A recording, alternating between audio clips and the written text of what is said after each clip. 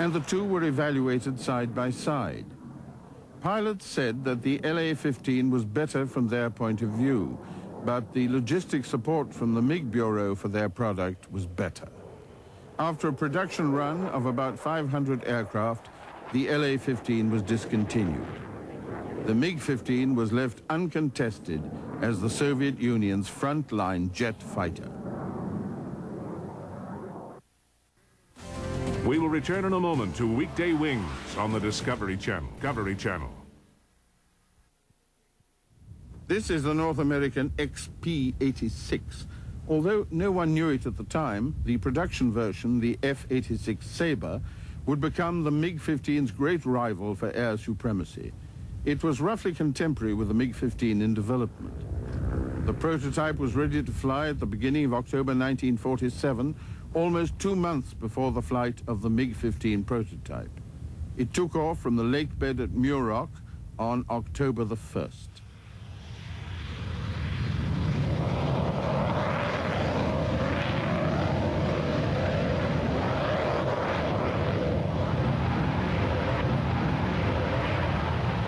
It was similar to the MiG-15 in layout, with the engine installed in the fuselage and wings swept at an angle of 35 degrees. The MiG-15's wings were swept at 36 degrees. The main difference between the two was weight.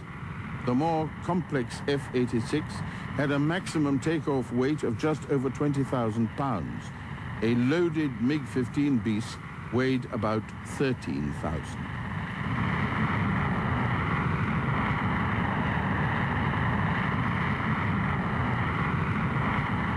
From the beginning, the F-86 was an impressive aircraft. It was fast, and before the end of 1947 exceeded the speed of sound in a dive.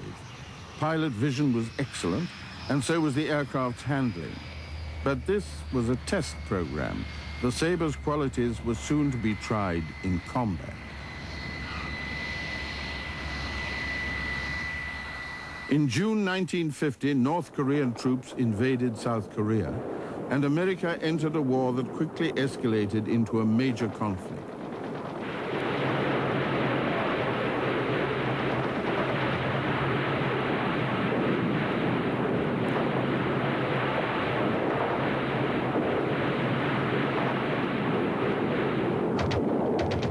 American B-29 pilots bombing the North were shocked to find themselves being attacked and their numbers decimated by cannon fire from stubby swept-wing jet fighters bearing North Korean colors.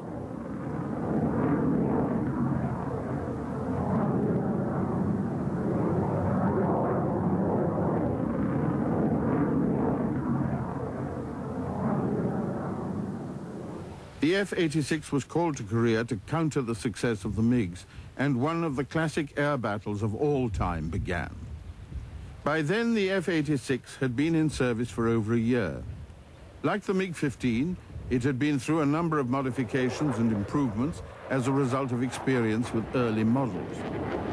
By the time it reached Korea, the E model had been introduced.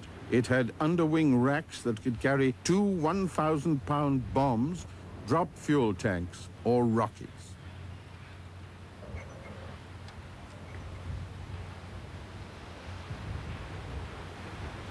It had been fitted with a new General Electric engine producing 5,200 pounds of thrust. It also had a one-piece flying tail, which gave more control power, especially at transonic speeds.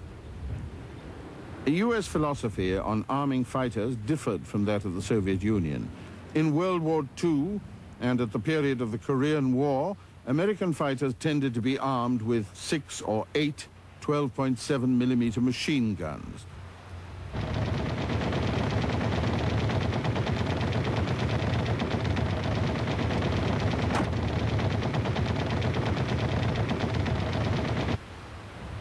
The machine guns were easy to aim because tracer ammunition allowed the pilot to adjust to the target, but their firepower was limited and the pilot needed time on the target to register enough hits to bring the enemy down.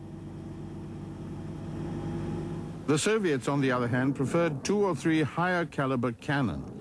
Aiming was more difficult, but one 37mm shell was capable of destroying an F-86.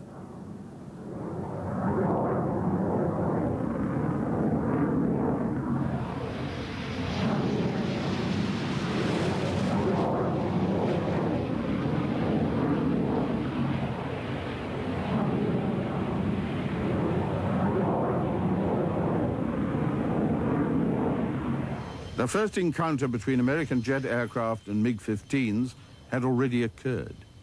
On November the 8th, 1950, an F-80C shot down a Chinese MiG-15. It was an unusual victory. MiGs could usually escape from F-80s because they could climb much faster, but the American pilot was able to catch one in a dive. The F-86 was a major advance on the F-80.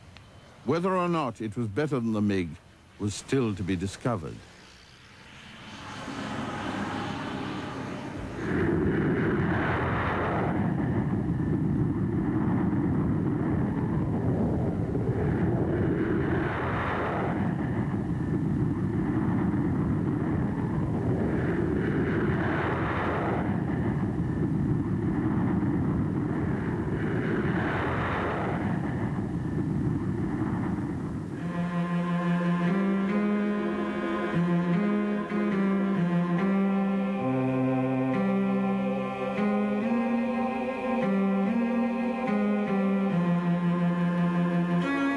The MiG-15bis was supplied in quantity to the North Korean Air Force and flown by North Korean and Chinese pilots.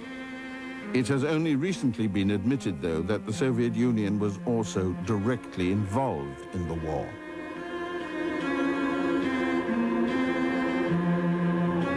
An air division of elite Soviet pilots commanded by the top-scoring ace of World War II, Ivan Kozhedub, was sent to Korea to gain combat experience and fought on the North Korean side.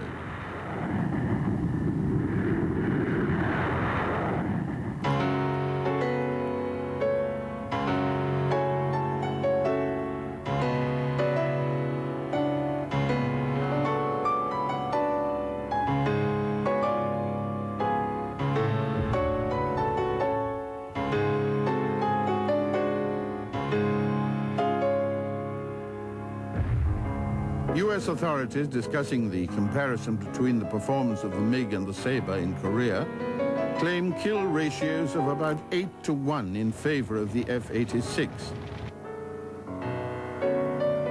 This is an overall figure covering Chinese, North Korean and Soviet pilots. But the Soviet perspective is a little different. Soviet authorities make the point that Chinese and North Korean pilots flying the MiG-15 had two major problems. The first was that they were not well enough physically conditioned to take advantage of the maneuverability and high G loads of the MiGs in combat, and the second was that the Chinese language did not adapt well to combat commands. And in the early 50s, soon after the establishment of the People's Republic of China, there were no standard combat procedures translated into Chinese.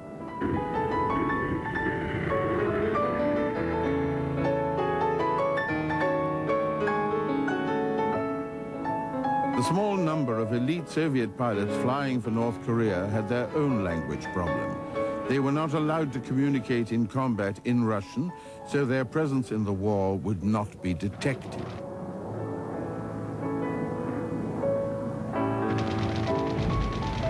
When the performance of the Soviet pilot against the American F-86 is considered in isolation, Russian authorities claim a 2 to 1 kill ratio in favor of the MiGs.